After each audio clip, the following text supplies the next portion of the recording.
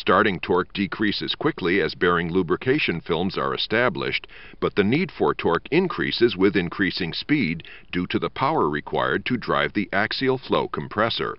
When the gas turbine startup sequence is initiated, the overrunning clutch of the hydraulic ratchet mechanism clamps onto the output shaft of the torque converter.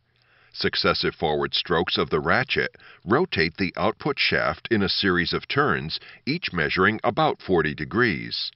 This provides sufficient torque to overcome the static friction in the turbine and to break away the turbine rotor. The starting motor is then turned on and the torque converter fills with lube oil.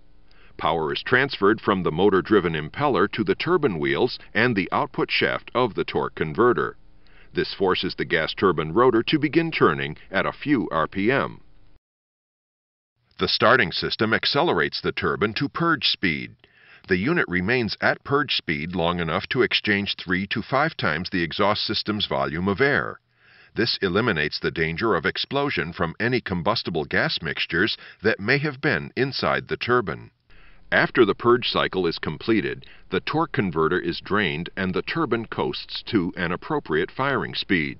Draining the torque converter hydraulically disengages the turbine wheels from the impeller. Thus, there is no need for a mechanical clutch. The torque converter is refilled with lube oil during the firing sequence. The adjustable guide vanes are opened fully, allowing the torque converter to develop its maximum speed and torque. In this way, the starting system assists the gas turbine in accelerating to a self-sustaining speed.